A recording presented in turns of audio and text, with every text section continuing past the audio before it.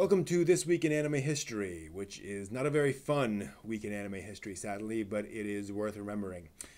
Uh, this week in anime history, back in 2008, uh, saw the tragic Akihabara massacre.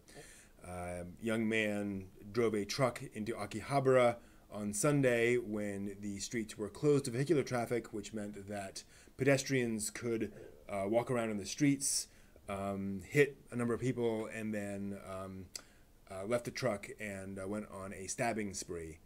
Um, seven people were, were killed as a result of that attack, and uh, many more injured. Uh, Akihabara was uh, uh, closed to pedestrian traffic on Sunday for the next three years.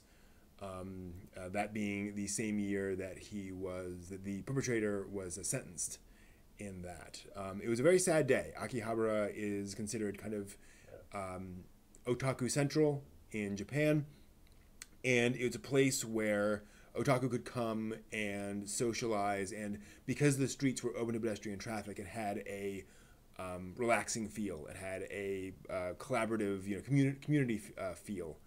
And the Akihabara massacre really injured that, and uh, and kind of broke the community for a little while uh, because of how it um, just really made that group feel vulnerable. Uh, very sad, tragic thing, and uh, just remembering that, that that happened.